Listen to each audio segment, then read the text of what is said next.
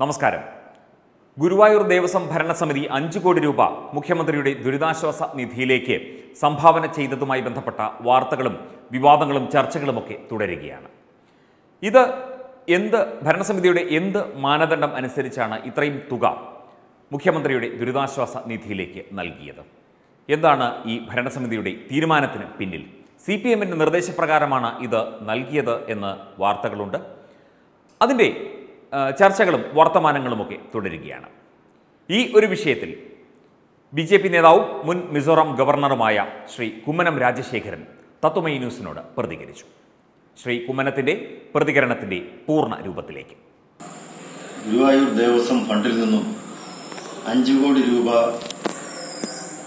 Corona പ്രതിരോധ പ്രവർത്തനങ്ങൾക്ക് വേണ്ടി സംഭാവന ചെയ്ത വാർത്ത പലവിധത്തിലുള്ള തെറ്റിദ്ധാരണകൾ ജനങ്ങളുടെ ഇടയിൽ ഉണ്ടാക്കാൻ ഇടയാക്കിയിട്ടുണ്ട്. വളരെ ജീവകാരുണികപരമായ പ്രത്യേകിച്ച് ഒരു സേവന സന്നദ്ധ പ്രവർത്തനങ്ങൾക്ക് വേണ്ടി കൊറോണ ബാധിച്ച ജനങ്ങളുടെ ചികിത്സ മറ്റ് സൗകര്യങ്ങൾ ഏർപ്പെടുത്തുന്ന കാര്യങ്ങൾക്കൊക്കെയായി പണം ചെലവഴിക്കാൻ ഗുരുവായൂർ ദിവസം പണം കൊടുക്കുന്നതിൽ എന്താണ് തെറ്റ്? എന്നൊരു ചോദ്യം ഉയർത്തിക്കൊണ്ടാണ് ദേവസ്വം അധികൃതർ ഇപ്പോൾ ആശയക്കുഴപ്പം ഉണ്ടാക്കാൻ ശ്രമിക്കുന്നത്. കൊറോണ ബാധിത ആയിട്ടുള്ള ആർക്കും അവിടെ ചികിത്സാ സൗകര്യങ്ങൾ ഏർപ്പെടുത്തുന്ന കാര്യത്തിൽ ഒരു എതിർപ്പും ആർക്കെങ്കിലും ഉണ്ടാകുമെന്ന് ഞാൻ വിചാരിക്കുന്നില്ല. വിഷയം അതല്ല.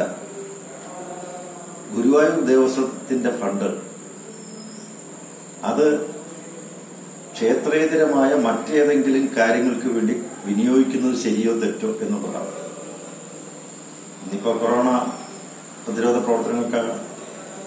നാളെ ചിലപ്പോൾ പാർട്ടി പ്രവർത്തനങ്ങൾക്ക് വേണ്ടി ആയിരിക്കാം. ഗുരുവായൂർ ദേവസ്വം മാനേജിംഗ് കമ്മിറ്റിക്ക് ഇഷ്ടമുള്ള ഏത് കാര്യത്തിനും വേണ്ടി വിനിയോഗിക്കാം എന്നൊരു സ്ഥിതിയായിരിക്കും വരിക.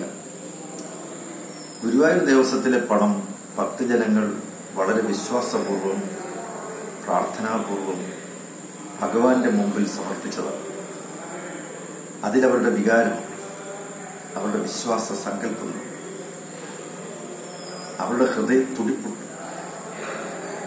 ആ പണം എന്തിനു വിനിയോഗിക്കണം എന്ന ഉദ്ദേശത്തോടു കൂടി സമർപ്പിച്ച പണം. അതവർ ക്ഷേത്രത്തിന് വേണ്ടി നൽകിയതാണ് ഗുരുവായൂർ അമ്പലത്തിൽ അവർ സമർപ്പിച്ച പണം എന്തുദ്ദേശത്തിനാണോ അവർ സമർപ്പിച്ചത്?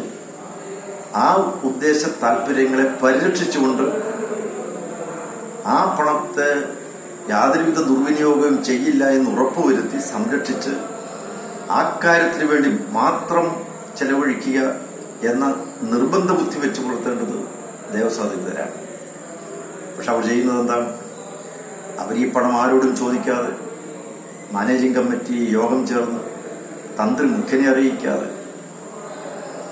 ഒരു കാലത്ത് ആ ക്ഷേത്രത്തിന്റെ ഭരണനിർവഹണം നിർവഹിച്ചിരുന്ന സാമൂതിരി രാജാവിനെയോ പ്രതിനിധിയോ അറിയിക്കാതെ അത് മുഴുവൻ സർക്കാരിലേക്ക് കൊടുക്കുകയായിരുന്നു ഈ രണ്ടാമത്തെ കാര്യം. മുഖ്യമന്ത്രിയുടെ ദുരിതാശ്വാസ നിധിയിലേക്കാണ് കൊടുത്തത്. മുഖ്യമന്ത്രിയുടെ ദുരിതാശ്വാസ നിധിയിൽ നിന്നും ഏത് കാര്യങ്ങൾക്ക് വേണമെങ്കിലും ആ പണം ചെലവഴിക്കാം. കൊറോണ പ്രതിരോധ പ്രവർത്തനത്തിൽ മാത്രമല്ല. നമ്മൾ മുമ്പ് കണ്ടതാണ് രണ്ട് രാഷ്ട്രീയ നേതാക്കന്മാരുടെ കുടുംബങ്ങൾക്ക് ആവശ്യമായിട്ടുള്ള സഹായം ചെയ്തു കൊടുക്കാൻ പണം കണ്ടെത്തിയത് ഈ ദുരിതാശ്വാസ നിധിയിൽ നിന്നാണ്. മുഖ്യമന്ത്രി ഹെലികോപ്റ്ററിൽ യാത്ര ചെയ്യാൻ പണം എടുത്തത് ഈ ദുരിതാശ്വാസ നിധിയിൽ നിന്നാണ്. മുഖ്യമന്ത്രിയുടെ ദുരിതാശ്വാസ നിധി എന്ന് പറയുന്നത് വളരെ വിശാലമാണ്. അതിൽ നിന്നും ഏത് കാര്യങ്ങൾക്കും എടുത്ത് ചെലവഴിക്കാം. അതേസമയം പ്രധാനമന്ത്രിയുടെ ദുരിതാശ്വാസ നിധി എന്ന് പറയുന്നത് കൊറോണ പ്രതിരോധ പ്രവർത്തനത്തിന് വേണ്ടി മാത്രം ചെലവഴിക്കണം. അപ്പോൾ ഇവിടെ ഈ പണം ആർക്ക് കൊടുത്തു? എന്തിനു കൊടുത്തു? ഏത് കാര്യത്തിന് വേണ്ടി കൊടുത്തു? അപ്പൊ കൊടുത്ത അഞ്ചു കോടി രൂപ എന്തിനു വേണ്ടി വിനിയോഗിക്കുമെന്നുള്ളതിനെ കുറിച്ച് യാതൊരു തിട്ടവുമില്ല മൂന്നാമതായി മാനേജിംഗ് കമ്മിറ്റി ചെയർമാൻ പറയുന്നത് ഇതെല്ലാവരുടെയും പണമാണ്. എല്ലാ മതവിശ്വാസികളും നൽകുന്ന പണമാണ്. എല്ലാവരുടെയും പണമായതുകൊണ്ടാണ് കൊടുത്തതെന്നാണ്. ഗുരുവായൂർ ദേവസ്വത്തിന്റെ ഫണ്ട് എല്ലാവരുടേതുമായിരിക്കാം. പക്ഷെ എല്ലാവരും പണം സമർപ്പിച്ചത് ഗുരുവായൂരപ്പനാണ്. ഏത് വിഭാഗത്തിൽപ്പെട്ടവരായിരിക്കാം?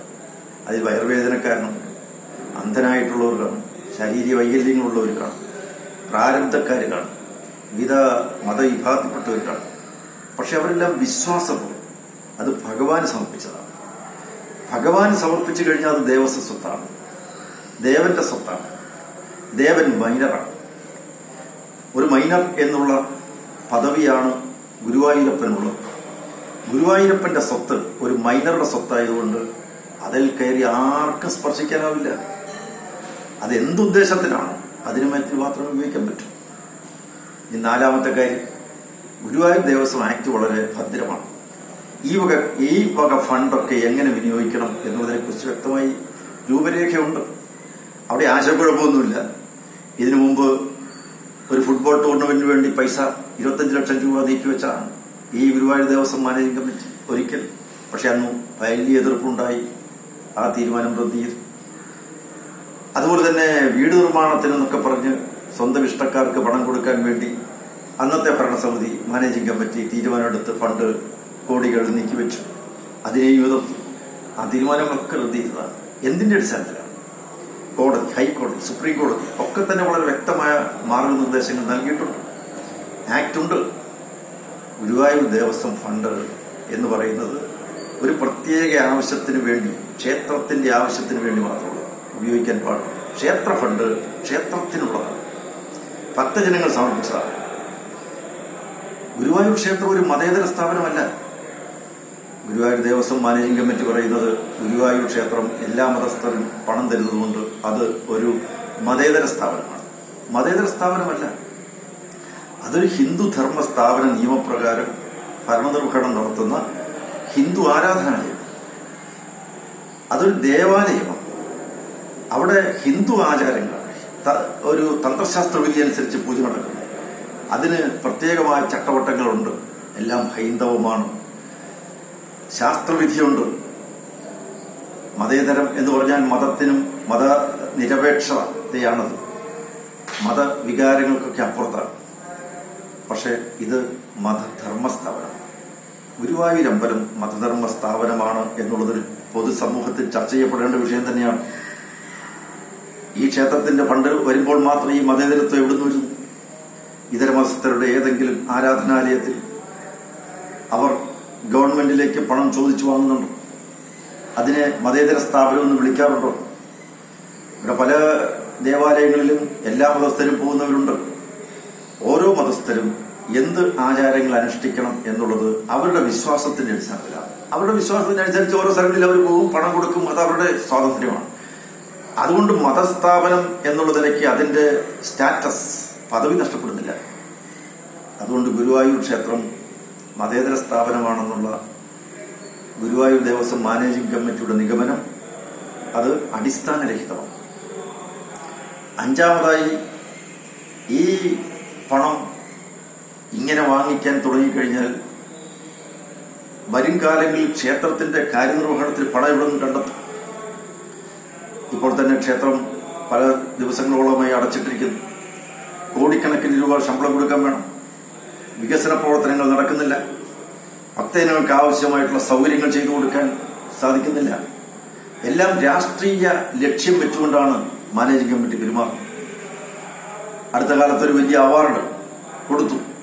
ക്ഷേത്രത്തിന്റെ വിശ്വാസങ്ങളെ ഭഞ്ജിക്കുന്ന ധ്വംസിക്കുന്ന വികാരങ്ങളെ വ്രണപ്പെടുത്തുന്ന രീതിയിലുള്ള പരാമർശനങ്ങൾ നടത്തിക്കൊണ്ട് കവിത എഴുതിയ ആളിനെ തന്നെ വിളിച്ചു വരുത്തി ഉപകാരം നൽകുന്നു പുരസ്കാരങ്ങൾ നൽകുന്നു.